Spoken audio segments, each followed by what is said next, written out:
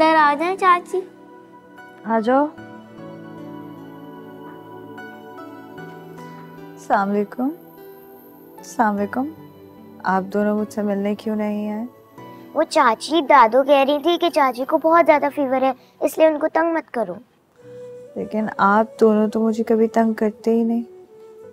हमने भी दादू को यही कहा था कि हम लोग तंग नहीं करेंगे पर वो मानी ही नहीं। चाची? वो कौन है? ये मेरी अम्मी है।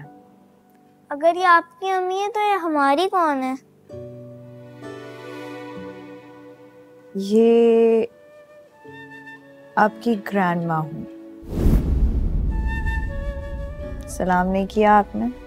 अस्सलाम वालेकुम अस्सलाम। जीते रहो। आप दोनों ने नाश्ता किया?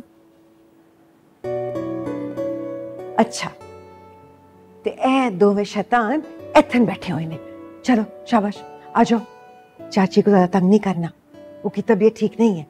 आ जाओ। स्कूल भी जाना है। अच्छा आई प्रॉमिस जब मैं ठीक हो जाऊँगी ना तो हम बहुत सारे गेम्स खेलेंगे। ठीक है? लेकिन अभी आप दोनों को अच्छे बच्चों की तरह दादों की बात माननी है ठीक है? बट चाची don't forget your promise I won't जाओ आ जाओ शैतान बच्चे ने ना है? नाश्ता भी करना है हाली। चलो इधर। सिकंदर के बच्चे बहुत हिल गए हैं तुम्हारे साथ। बच्चे बहुत समझदार बहुत सुलझे हुए हैं।